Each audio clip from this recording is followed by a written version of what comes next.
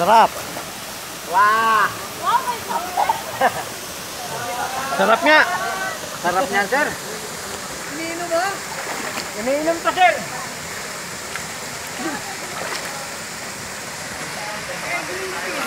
Galing yan sa loob. Bukal, bukal. Sino nagbaon yun dyan? Hindi, oh, linagay talaga namin kasi pag walang ganito, pu- pupunta pa doon pag, pagkuha. Ito, baso.